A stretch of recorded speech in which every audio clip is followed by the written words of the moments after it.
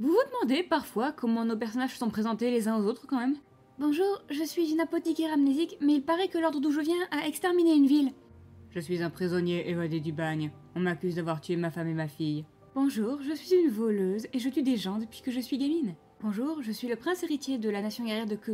Oui, celui dont vous avez entendu parler qui aurait cramé son royaume et tué son père. Sauf que j'ai rien fait de tout ça. Par contre, j'ai une malédiction qui me pousse à buter tout le monde. Bonjour, vous avez de la barbaque? Bonjour. Mais vache, ça a dû être épique. Nous nous trouvons aujourd'hui dans la ville de Sai, en Inoneuma. Cette ville a longtemps été le théâtre d'affrontements entre les migrants qui s'y amassent en quête de travail et le royaume de Bois-Bruine qui les rejette pour préserver son confort alors que la main-d'œuvre manque et que les gens de Sai meurent de faim. À l'heure actuelle, une trêve a lieu pour des raisons que nous ignorons. Mais ce que nous savons, c'est que juste parce que la paix est enfin possible pour ces populations déplacées, ça ne signifie pas que la situation est idéale. Dans les taudis, quartiers les plus pauvres de Sai, les gens peinent à vivre dignement.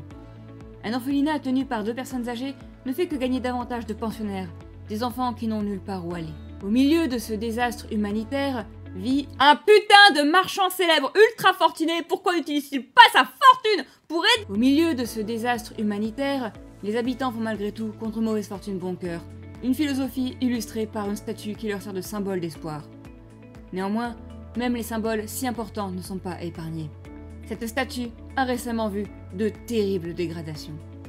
En revanche, une jeune danseuse est récemment arrivée par ici et depuis multiplie les bonnes actions dans l'espoir de redonner un peu de lumière aux habitants. Nous pouvons la voir ici, acheter des chaussures aux orphelins ou apprendre à danser à qui le veut. Cette charmante jeune femme illumine les visages de tous les habitants de Sai. En parallèle de ces efforts, un projet de rénovation du quartier est en route, orchestré par la diva Dolcinea qui ne supporte plus cette misère. Néanmoins, ce projet rencontre une vive opposition. En effet, les habitants dénoncent une tentative de gentrification de la zone qui signifie que ces gens déjà sans le sou seront alors chassés de chez eux, y compris les enfants qui n'ont déjà pas de demeure à proprement parler. Notre jeune danseuse a donc décidé de s'engager dans des plaidoyers avec la garde du corps de Dulcinea. Suite à cette magnifique plaidoirie, Dulcinea accepte de remettre ses plans à plus tard. Comble du hasard, il s'avère que Dulcinea, en plus d'être une ancienne orpheline de Sai, a été l'apprentie de la mère de notre jeune danseuse. C'est pourquoi elle lui remet un ticket pour qu'elle s'affronte lors d'un concours de danse au Grand Gala. Il est temps pour notre danseuse de repartir, mais nul doute que les enfants à qui elle a redonné le sourire auront de chaleureux souvenirs de cette jeune femme qui les a tant touchés. Un véritable climat de bienveillance dans la ville désertique de Sai. Par contre, c'est toujours la merde dans les taudis. Hein. Bon, tant que nous sommes dans les bébounets, direction Puisseret pour la troisième fois déjà. Mais après Icali et c'est Particio qui a un chapitre là-bas. Il souhaite y rencontrer Alronde, qui est connu comme étant l'homme le plus riche du monde. Et comme au milieu de tout ce tintouin, notre ami parti a diffusé le gramophone, trouvé le tableau du commerce de Massoud et acheté le premier bateau d'une architecte de génie, il a clairement la preuve qu'il sait faire de bonnes affaires et en effet, il impressionne quelqu'un qui promet de l'emmener voir Alronde. Ou plus exactement, qui s'avère être un Alronde déguisé. Alronde qui, très clairement, doit avoir du son de Magical Girl, et je ne dis pas ça parce qu'il est ultra fabuleux, mais parce qu'il se change à une telle vitesse que ça ressemble plus à une transformation qu'autre chose. Les particiaux se mettent à flirter. Bon ok, j'avais une blague, mais le temps que la cinématique avance, ce n'était plus une blague. Alronde promet son aide à Particio, mais seulement s'il arrive à redynamiser Puisseret, puisque la ville est en train de dépérir. Il s'avère que le père d'Alronde a tenté tant bien que mal de réinvestir dans celle-ci, mais que vu l'état de la ville, l'effet que ça avait eu était plutôt que les marchands et autres profitaient de ses aides pour se casser d'ici. Alors que Particio détermine que la meilleure façon de refaire de Puisseret une plateforme tournante du commerce serait de créer la toute première galerie marchande de Solistia, Ori surgit de nulle part. On sait pas ce qu'elle fout ici quand normalement elle se trouve à Chronorive, mais bonjour Ori Et elle aime beaucoup nous parler de son frère, mais ne nous dit pas comment il s'appelle. Curieuse. La bonne nouvelle du jour, c'est que le jeu ne nous force pas à faire des allers-retours entre les différents endroits où Partition récupère les produits qu'il compte faire vendre dans cette galerie marchande. Et entre ces énormes ellipses et, vous savez, la présence de Malaya dans son chapitre 1, je pense qu'on peut affirmer sans peine que son scénario commence bien avant les autres et se déroule sans doute sur beaucoup plus de temps. La mauvaise nouvelle du jour, c'est que comme le jeu nous fait cette politesse, bah une fois de plus, il n'y a pas de bourgeon. Donc pas d'occasion de level up.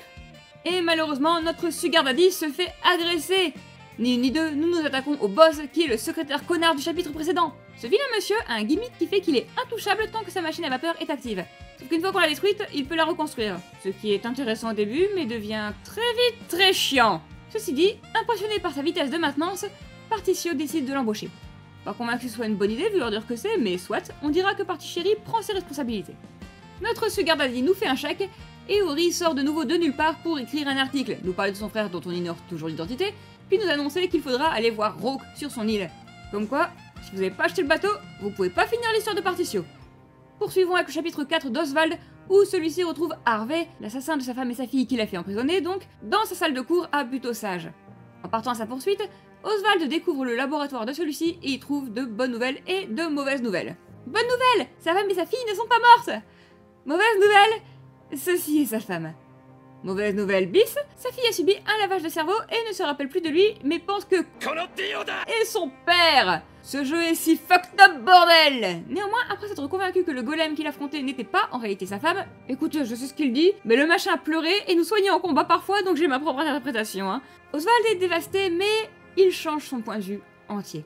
La vengeance est important, oui, mais pas autant que de sauver sa fille. Si vous avez besoin d'une pause après ce chapitre, comme après celui de Casti, je ne peux que vous proposer d'aller faire quelques quêtes annexes, comme celle de cette petite fille gravement malade qui pense que la vie ne mérite plus d'être vécue et que vous ne pourrez convaincre de l'inverse qu'en accomplissant ses rêves. Pourquoi je joue à ce jeu déjà? Ah oui, pour affronter des monstres flippants dans des cavernes glauques Ah voilà, je me sens mieux. Sur ce, au niveau des chapitres qui ne sont pas trop durs pour moi, là, il ne reste que le trio d'Ouragrel. C'est parti C'est pas comme si quoi que ce soit pouvait me détruire plus que les chapitres de Cassie Oswald de toute façon chose, nous devons assommer le garde qui nous empêche d'accéder au tunnel qu'il faut traverser pour arriver dans la zone d'Ouragrel. Faites-le de la manière de votre choix, moi j'ai fait le choix de la flemme avec Sroné. Puis nous arrivons dans cette nouvelle zone, et qui dit nouvelle zone dit Putain, Hikari, mon argent Je vous jure, c'est pas soudoyer qu'elle devrait s'appeler sa technique, mais charité En tout cas, on voit bien vite que la situation n'a pas l'air très agréable ici. Donc faisons les chapitres rapidement et cassons-nous. Dans le chapitre 3 d'Ochette, nous nous rendons en haut d'un pic pour trouver Glaciès, nous croisons un chasseur qui cherche les cadavres de sa troupe, qui s'est fait exterminer après avoir tenté de chasser la créature gardienne en question. Enfin, pas exactement. Comme on le découvre un peu après, Glacias et Sifurax, parce qu'après avoir échoué à la vaincre, ils ont détruit son œuf. Sans bonne raison, ils voulaient pas le manger, ils ont juste fait ça parce que leur honneur était meurtri après avoir échoué à chasser la bête. Ouais, je comprends que Glacias soit dans une rage noire. Après l'avoir capturé, Ochette parvient désespérément à la calmer et la réconforter, en lui donnant une raison de vivre, Totohaha. Je suis dévastée, j'ai la larme à l'œil. Pendant un chapitre d'Ochette. Ce jeu n'a aucune pitié. Le chasseur nous révèle que la même chasseresse qui a tué Cataracta est responsable de leur idée de chasser Glaciès et de la destruction de l'œuf, ce qui semble hyper un sacré affrontement contre elle. Ce serait le seul boss d'Ochette qui serait humain. Oh, bon, on n'a pas rigolé avec Pochette, donc on va continuer avec Téménas. Y a pas encore un seul chapitre de Téménas qui ne m'a pas fait rire. Alors allons-y